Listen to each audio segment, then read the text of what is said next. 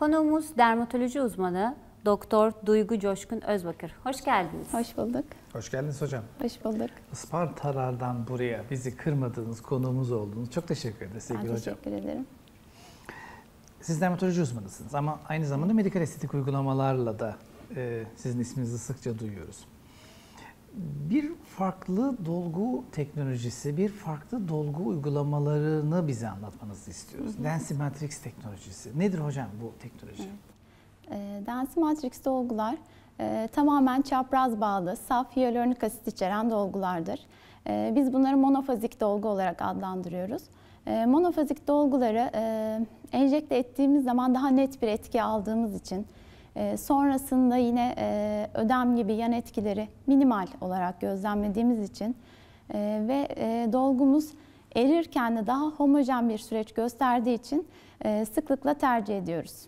Çok da erirken farklı bir teknoloji, bir özellik gösteriyor olması sanırım burada, sihir burada saklı Evet, anladığım e, kadarıyla. Bazı dolgular e, bifazik olarak adlandırdığımız dolgularda çapraz bağsız hyaluronik asit de bulunmaktadır. E, ama monofazik dolgularda çapraz sadece çapraz bağlı hyaluronik asit bulunduğu için erime sürecinde de e, daha homojen bir erime oluyor. Hem de e, hastalar açısından da daha iyi bir etki oluyor. Ne güzel, matruşka bebek gibi yani açıyorsunuz içinden bir bebek daha çıkıyor. Açıyorsunuz erirken bir bebek daha çıkıyor derken derken etkisi daha süreler içerisinde güzelleşerek, farklılaşarak da e, kendini gösteriyor. Peki ne hangi çeşitleri var hocam? Yüzün nerelerinde kullanılıyor? E, Densi Matrix dolgular 3 çeşit. Intens, global ve perioküler olmak üzere.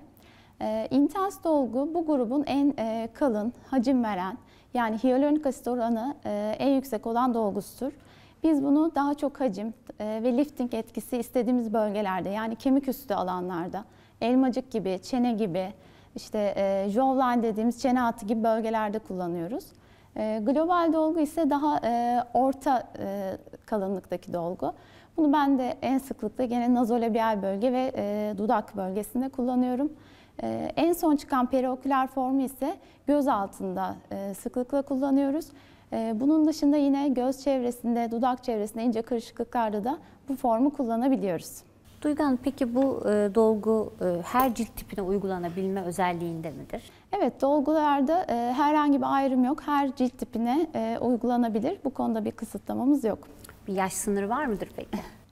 E, genellikle hani dolgular daha ileri yaşlarda yapılacakmış gibi hastalarımız da genelde böyle düşünüyor ama e, 18 yaşından itibaren e, aslında dolguları uyguluyoruz. E, genç yaşlarda da çene bölgesi problemleri, gözaltı problemleri çok sık olduğu için 18 yaşı itibariyle e, kişilere uygulanabilir. Şimdi biz bu konuyu üç hekim kendi aramızda konuşurken heyecan duyuyoruz. Farklı ve yeni bir teknoloji diye heyecan duyuyoruz. Ama izleyicilerimiz için dedik ki az evvel erirken bile başkalaşıyor, güzelleşiyor. Yani başlangıcında güzel, ortalarında daha güzel. Hatta biterken eridikçe içinden başka başka cevherler çıkıyor ve daha güzel sonuçlar Evet, alınıyor dolgular dedik. E, şöyle zaten erise dahi e, dokuda bir e, yapılanma süreci olduğu için ve kolajen sentezini tetiklediği için hiçbir zaman ilk e, sıfır noktasına dönmüyoruz aslında. Hani enjeksiyon yapılmamış halinden her zaman daha iyi bir etki elde ediyoruz. Yani 9-12 ay sonra bile hastamızı mesela özellikle göz altında bunu sıklıkla gözlemliyoruz. Gözaltı sıfır noktasına göre her zaman çok daha iyi oluyor. Çok güzel. Peki bir hastaya uyguladığımız zaman e, şu an bizi izleyen hastalarımızdan birisi sizin kliniğinize geldi ve bu uygulama e, ya kavuşmak istedi. Başına ne gelecek? Hikayesi nedir hocam? Aslında e, dolgular bizim için e, yani çok sıklıkla uyguladığımız e, basit işlemler diyebiliriz. E, hastalarımız e, uygulamaya geldikten sonra normal gündelik yaşantılarına e, hemen dönebilirler. Zaten monofazik dolgularda ve densimatrix dolgularda e, yan etki oranı hemen hemen hiç yok. Yani minimal diyebiliriz. E, ödem bile ben e, sıklıkla hastalarımda görmüyorum. O yüzden Alerjenik gündelik değil o zaman. e, alerji şu ana kadar hiç görmedim. Tabii umarım görmem bundan sonra da. Gündelik yaşantılarına devam edebilirler. Peki bunun sırrı monofazik dediğiniz özelliğinde mi yoksa başka başka maddeler mi var içinde? Yoksa dolguyu biz 10 yıllardır e, çeşitli versiyonlarla kullanıyoruz. Farkı ne? Temel fark ne? E, hyaluronik asit saf bir hyaluronik asit içeriyor bu dolgu. Çapraz bağlı tamamen. Yani dolguyu e, verdiğimiz zaman istediğimiz şekli alıyor ve o şekilde kalıyor. Yani bir e, dağılma, yayılma olmuyor dolguda.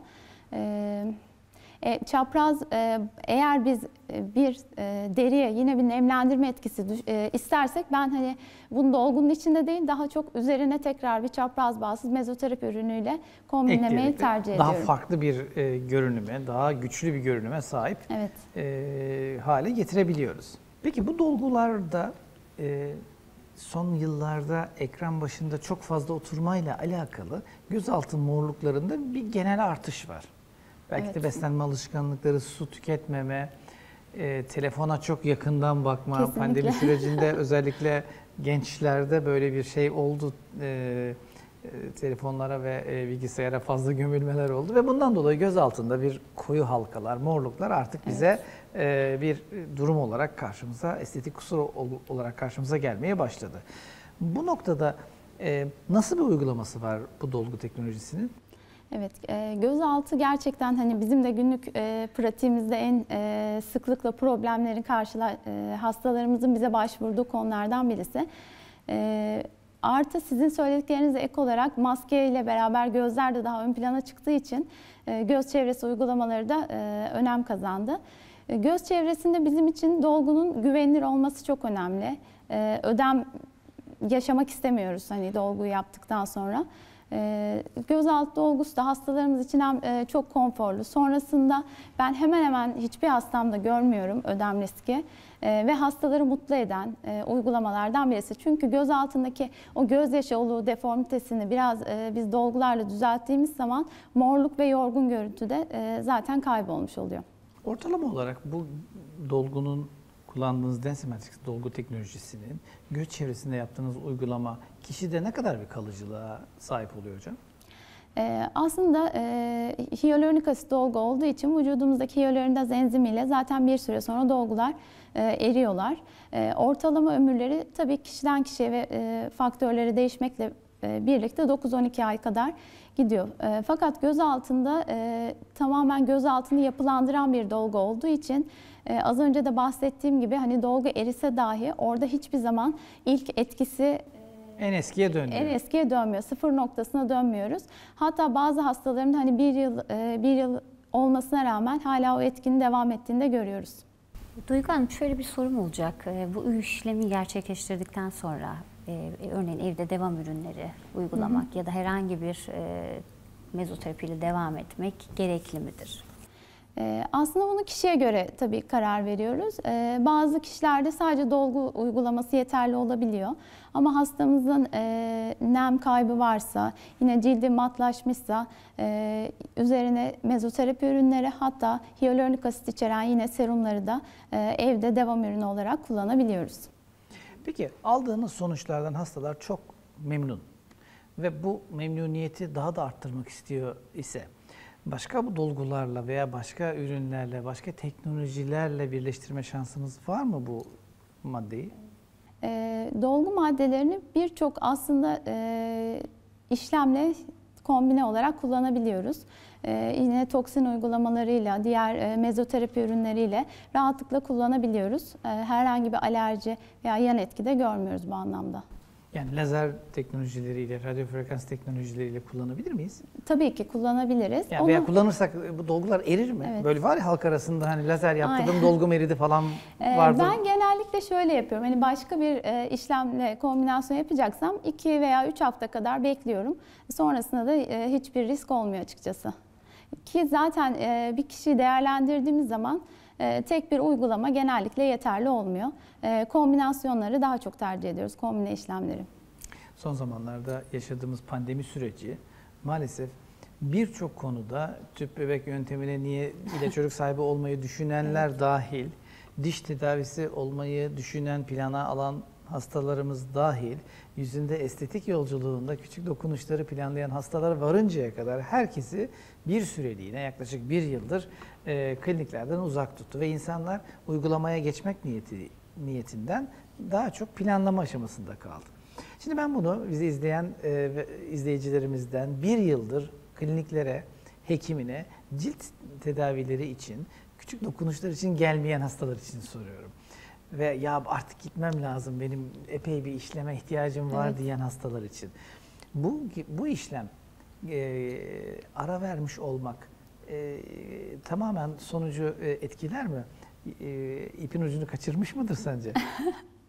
Yani zararın neresinden dönsen kârdır diye bir e, diyebiliriz ama e, şöyle tabii ki hani e, uygulamalar devamlılık gösterirse alacağımız e, sonuç maksimum oluyor.